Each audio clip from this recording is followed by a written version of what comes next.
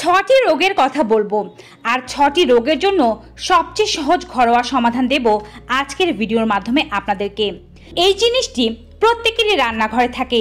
প্রতিদিনই আপনি খান, কিন্তু ভুল পদ্ধতিতে খাওয়ার কারণে এর উপকার পান না। কিন্তু আজকে যদি এর উপকারিতা এবং বিশেষ রোগে বিশেষ খাওয়ার নিয়ম সম্পর্কে আপনাদেরকে জানাই, তাহলে আপনারা অবাক হয়ে যাবেন। আর শুধু কথায় নয়, কাজে বিশ্বাসী হতে হবে। আপনারা আমার বলা নিয়ম অনুযায়ী এই জিনিসটি খেয়ে দেখুন, যে ছটি রোগের কথা বলেছি, সে ছটি রোগ ভালো হবেই। আমি যে জিনিসটির কথা বলব, তা ইতোমধ্যে নিশ্চয়ই আপনারা বুঝতে পেরেছেন। রসুন, অনেকেই অনেকভাবে খান। কেউ সকালবেলা খালি পেটে খান। ভিন্ন ভিন্ন রোগের জন্য কিন্তু রসুনকে ভিন্ন ভিন্ন পদ্ধতিতে খেতে হয়। কোন ছটি রোগ এবং কীভাবে খাবেন তা একটু পরেই জানাচ্ছি। Hello viewers, welcome to my channel Labani's kitchen and blogs. অনুরোধ থাকবে, অবশ্যই পুরো ভিডিওটি জুড়ে আমার সাথে থাকবেন। ফলো করুন আমাদের Facebook page at the rate of Labani tips যেখানেও বিভিন্ন স্বাস্থ্য তথ্য দেওয়া হয়। প্রথমে বলছি মেজর ছটি রোগ সম্পর্কে। প্রথম রোগ হচ্ছে হার্টের সমস্যা অথবা হার্টের ব্লকেজ যদি আপনার হার্টের সমস্যা থাকে হার্ট অ্যাটাকের দিকে কখনোই ধাবিত হতে দেবে না রসুন আপনাকে। আর আপনি যদি আগে থেকেই রসুন সেবন শুরু করে দেন, তাহলে কখনোই আপনার হার্টে ব্লক হবে না।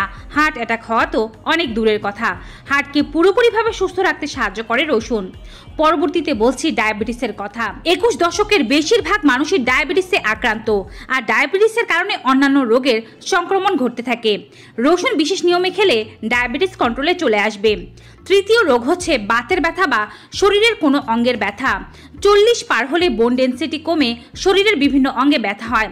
কারও কারও এমনিতে আঘাতজনিত বিভিন্ন ব্যথা রয়েছে।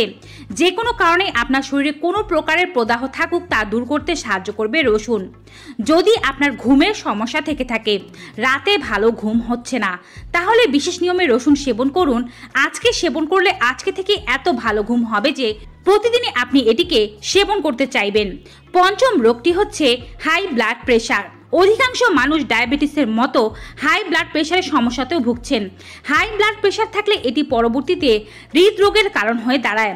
রসুন খেলে সহজেই আপনি আপনার ব্লাড প্রেশারকে কন্ট্রোলে আনতে পারবেন। ষষ্ঠ ও সর্বশেষ সমস্যা যেটি বলছি, সেটি হচ্ছে যদি আপনার ঠান্ডাজনিত কোনো রকমের কোনো সমস্যা থাকে।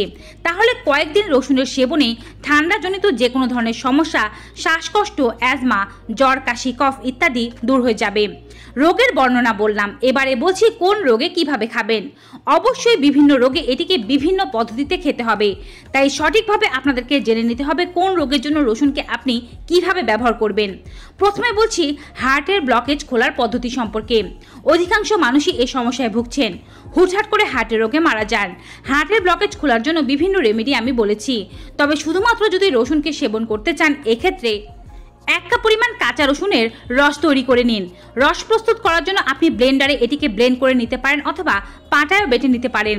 রসুনের রস প্রস্তুত করার আগে আপনাদেরকে খেয়াল রাখতে হবে, দেশি ছোট রসুনগুলো নির্বাচন করে নেবেন। রসুনের খোসা ছেলার পূর্বে এটিকে ভালোভাবে ধুয়ে নেবেন। তারপরে খোসা ছেলে আপনি এটিকে বাতাসে দশ থেকে পনেরো মিনিটের জন্য রেখে দেবেন। তারপরে এটিকে ব্লেন্ড করে নেওয়ার পর একটি ছাঁকনির সাহায্যে ছেঁকে এর রসগুলো বের করে নেবেন। যখন এক কাপ পরিমাণ রস বের হবে, তখন এর মধ্যে সম পরিমাণ মধু মিশ্রিত করবেন, অর্থাৎ এক কাপ পরিমাণ। ডায়াবেটিস রোগী হলে আপনি মধুটি বাদ দেবেন, কারণ ডায়াবেটিস রোগীদের জন্য মধু সবসময় নিরাপদ নাও হতে পারে। রসুনের রস এবং মধু ভালোভাবে মিশ্রিত করে একটি কাঁচের কন্টেনারে সংগ্রহ করে আপনি এটিকে ফ্রিজে রেখে দিন। রোজ সকালবেলা ঘুম থেকে উঠে আধা ঘণ্টা হাঁটুন অথবা অন্য কোনো কাজ করুন। পেট খালি রাখবেন, অন্য কোনো খাবার খাবেন না। তারপরে এক টেবিল চামচ পরিমাণ এই রেমেডিটি খেয়ে নিন। এর আধা ঘণ্টা পরে নাস্তা করুন। এই রেমেডিটি যখন শুরু করবেন তখন একুশ দিন থেকে তিরিশ দিন পর্যন্ত টানা খেয়ে যেতে হবে। আপনার হার্টের ব্লকেজ খুলতে শুরু করবে। হার্টের শিরা উপশিরায় জমে থাকা চর্বিগুলো দূর হয়ে যাবে। রক্ত পরিষ্কার হবে। ভালোভাবে রক্ত সাপ্লাই হবে সমস্ত দেহে। হার্টের রোগীরা ছাড়াও যদি কেউ এই রেমেডিটি এই নিয়মেই খেতে পারেন, তাদের কখনো হার্টের কোনো সমস্যা হবে না। একুশ থেকে তিরিশ দিন টানা খাওয়ার পরে আপনি সাত দিনের মতো গ্যাপ দিয়ে আবার একই পদ্ধতিতে খাওয়া শুরু করবেন। আবার সাত দিন গ্যাপ দেবেন। এভাবে খাবেন। যতদিন পর্যন্ত না আপনার হার্টের ব্লকেজ পুরোপুরিভাবে খুলে যাচ্ছে অন্তত পক্ষে ততদিন। এবং এইভাবে এই রেমেডিটি আপনি হার্টের ব্লকেজ খুলে যাওয়ার পরেও বা হার্টের সমস্যা ভালো হয়ে যাওয়ার পরেও প্রতি সপ্তাহে অবশ্যই তিন দিন করে খাওয়ার চেষ্টা করবেন। একবার রেমেডি প্রস্তুত করে ফ্রিজের নর্মাল চেম্বারে রেখে আপনি অন্তত পক্ষে সাত থেকে পনেরো দিন পর্যন্ত খেতে পারেন। তবে পনেরো দিন পর অবশ্যই নতুন করে রেমেডি প্রস্তুত করতে হবে। এবারে বলছি, রসুনের সাহায্যে কীভাবে আপনি আপনার ঘুমের সমস্যাকে দূর করবেন এবং শরীরে যদি কোনো প্রদাহ থাকে, বাতের ব্যথা থাকে জয়েন্ট পেইন থাকে মাসেল ক্র্যাম্প থাকে, তা দূর করবেন। আপনার ব্যথা যে কোনো কারণেই হতে পারে। বয়সের কারণে ব্যথা, হাড় ভেঙে যাওয়ার কারণে ব্যথা অথবা বোন ডেন্সিটি কমে যাওয়ার কারণে ব্যথা, প্রদাহজনিত ব্যথা। যেই কারণে ব্যথা হোক না কেন, আপনি রসুন ও দুধের রেমেডি সেবন করুন। কয়েকদিনের মধ্যে কয়েকদিনের মধ্যে বলতে সাত থেকে দশ দিনের মধ্যে আপনি এতটা আরাম লাভ করবেন যে এই রেমেডি আপনি কখনোই ছাড়তে চাইবেন না। এবং ঠিক একইভাবে ঘুমের সমস্যায় যারা ভুগছেন, রাতে ভালো ঘুম হচ্ছে না ঠিক মতো ঘুম না হওয়ার কারণে শরীরে নানাবিধ রোগের উপদ্রব ঘটছে, তারাও একই পদ্ধতিতে এই রেমেডিটি সেবন করতে পারেন। তিন থেকে চার কোয়া রসুন নিয়ে নেবেন, দেশি ছোট রসুনগুলো।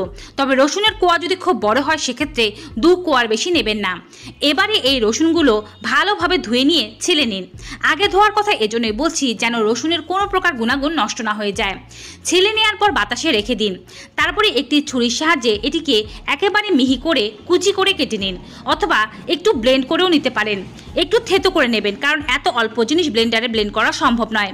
থেতো করে নেওয়া এই জিনিসটি আপনি এক গ্লাস কুসুম গরম দুধের মধ্যে মিশিয়ে নিন। দুধ উত্তপ্ত হতে পারবে না। কুসুম গরম অবস্থায় থাকতে হবে। কুসুম গরম দুধের মধ্যে মিশিয়ে আপনি ঠিক ঘুমাতে যাওয়ার আধা ঘণ্টা থেকে এক ঘণ্টা পূর্বে এই রেমেডিটি পান করুন। আপনি এটিকে কিন্তু চিবিয়ে খাওয়ার পরেও দুধ খেতে পারেন। যদি কেউ মনে করেন দুধের সাথে মিশিয়ে খেতে ভালো লাগছে না, আলাদা আলাদাভাবে ফ্লেভারটি নিতে চান, সেক্ষেত্রে দু থেকে তিনটি রসুন ভালোভাবে দাঁতে চিবিয়ে খাওয়ার পর এক গ্লাস কুসুম গরম দুধ খান।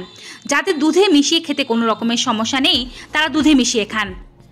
যাদের লো ফ্যাট মিল্ক খেতে হবে অর্থাৎ ফুল ফ্যাট মিল্ক খেতে পারবেন না, তারা লো ফ্যাট মিল্ক প্রস্তুত করে নিতে পারেন।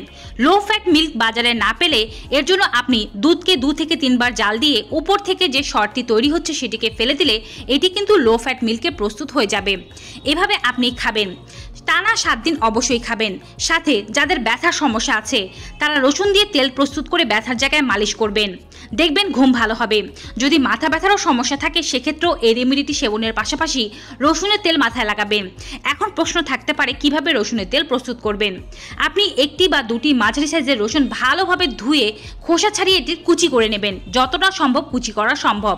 এবারে আপনি অলিভ অয়েল কিংবা সর্ষের তেল অথবা নারকেল তেল, যেটি আপনার হাতের কাছে থাকে, অথবা তিনটিকে একত্রে মিশ্রিত করে এই রসুনটি একটু ভেজে নিতে পারেন।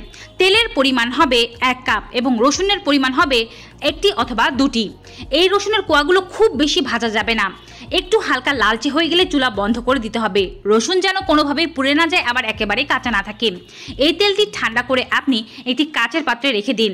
দিনে দুবেলা, যদি ব্যথা খুব বেশি হয়, তাহলে মালিশ করবেন। আর যদি ব্যথা সামান্য হয়, তাহলে এক বেলা মালিশ করে যথেষ্ট। যখন মালিশ করবেন, এমনভাবে শরীরের মধ্যে মেশাতে হবে যেন তেলটি খুব ভালোভাবে শরীরের সাথে মিশে যায়। তবে ব্যথার জায়গায় খুব বেশি লাভ করা যাবে না, এতে করে কিন্তু আপনার ব্যথা আরও বাড়তে পারে। এভাবে সাত থেকে দশ দিন করলেই যে কোনো ব্যথা এবং ঘুমের সমস্যা হয়ে যাবে। ঘুমের সমস্যা যাদের তাদের শুধুমাত্র রেমেডি খেলেই হবে, কোনো জায়গায় মালিশ করার প্রয়োজন নেই। আপনি যদি খুব বেশি পুরাতন ব্যথায় ভুগে থাকেন, অর্থাৎ অনেক দিনের তীব্র ব্যথা, সেক্ষেত্রে আপনাকে এই রেমেডিটি আরও কিছুদিন চালিয়ে যেতে হতে পারে। এবার থাকছে আরও তিনটি রোগ। যাদের ঠান্ডাজনিত সমস্যা, বুকে জমা পুরনো কফ, সর্দি, কাশি, জ্বর অ্যালার্জি অ্যালার্জি, শ্বাসকষ্ট, বিভিন্ন ধরনের ঠান্ডাজনিত সমস্যা লেগেই আছে, তারা রসুন এবং মধুর সিরাপ বানিয়ে খাবেন। আপনি এক থেকে দুটো রসুন ভালোভাবে কুচি করে কেটে নিন। কাটার আগে অবশ্যই এটিকে ধুয়ে তারপরে খোসা ছাড়িয়ে কিছুক্ষণ বাতাসে রাখতে হবে। এতে রসুনের কিছু ক্ষতিকারক উপাদান আছে, তা নষ্ট হয়ে যায়। দশ পনেরো মিনিট বাতাসে রাখার পর এটিকে মাঝারি সাইজের কুচি করুন। খুব বেশি ঘন কুচি করার প্রয়োজন নেই। এবারে এটিকে আপনি এক কাপ পরিমাণ মধুর মধ্যে ডুবিয়ে রেখে দিন। অন্ততপক্ষে চব্বিশ ঘণ্টা ডুবিয়ে রাখবেন। এই রেমেডিটি প্রতিদিন এক চা চামচ করে খাবেন। সমস্যা অনেক তীব্র হলে দুবেলা খাবেন। সকালে নাস্তা খাওয়ার আধা ঘণ্টা পরে এবং বিকেলে অথবা সন্ধ্যাবেলা নাস্তা খাওয়ার আধা ঘণ্টা পরে। দুবেলা কিছুদিন খেলে আপনি ঠান্ডাজনিত যে কোনো সমস্যা থেকে তিন দিনের মধ্যেই মুক্তি পেয়ে যাবেন। যাদের হাই ব্লাড প্রেশারের সমস্যা আছে, তারা সকালবেলা খালি পেটে কাঁচা রসুন চিবিয়ে খাবেন। এর জন্য ঠিক একই পদ্ধতিতে রসুন প্রিপেয়ার করে নিতে হবে। দুটি মাঝারি সাইজের রসুনকে ভালোভাবে ধুয়ে খোসা ছাড়িয়ে বাতাসে রেখে নেওয়ার পরে সকালবেলা খালি পেটে আপনি এই দুটো রসুনকে দাঁতে যতটা সম্ভব চিবিয়ে খাবেন। খালি পেটে খেতে হবে এবং ঘুম থেকে ওঠার পরপরই না করে কিছুক্ষণ পরে করুন। এর মাঝে কোনো কিছু খাবেন না। ভালোভাবে চিবিয়ে খাওয়ার পরে এক গ্লাস কুসুম গরম জল পান করুন। তারপরে আপনি আধা ঘণ্টা অপেক্ষা করে সকালে নাস্তা করতে পারেন। তিন দিনের মধ্যে আপনার ব্লাড প্রেশার নিয়ন্ত্রণে আসবে। আপনি যদি সবসময় এটিকে নিয়ন্ত্রণে রাখতে চান, তাহলে প্রত্যেক সপ্তাহে তিন থেকে চার দিন অবশ্যই আপনাকে খেতে হবে। এবারে বলছি, ডায়াবেটিসের ক্ষেত্রে আপনি এটিকে কীভাবে সেবন করবেন? চার পাঁচ কোয়া রসুন ভালোভাবে কেটে এক কাপ পরিমাণ জলে এটিকে তিন থেকে চার মিনিট ফুটিয়ে নেবেন। তারপরে জলটি ঢাকনা দিয়ে রেখে দেবেন পাঁচ মিনিটের মতো। এটিকে ছেঁকে নেবেন এবং এর মধ্যে সামান্য পরিমাণে লবঙ্গের গুঁড়ো মিশ্রিত করবেন। চাইলে ফুটন্ত জলের মধ্যেও লবঙ্গ, তিন থেকে চারটি লবঙ্গ মাথার ফুল সমেত দিয়ে নিতে পারেন। এই জলটি যেন খুব বেশি ফুটে না যায় সেদিকে খেয়াল রাখবেন। অর্থাৎ জল এক কাপের চেয়ে নিচে নামবে না।